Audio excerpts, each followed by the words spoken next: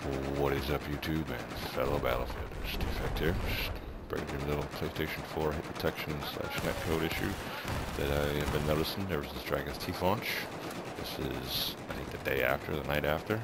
It's still pretty bad, as you can see. And I don't region hop, just put that right out there. That guy should be dead right with that first burst, but took another one. Uh, that's not the issue in the video. Keep watching, it gets better. Hey, thanks for the revive, buddy. Appreciate it.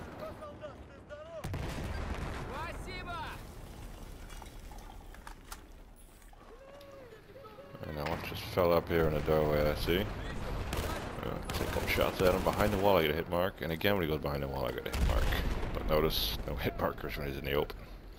It's kind of opposite of the way the game's supposed to work, but hey, that's Battlefield.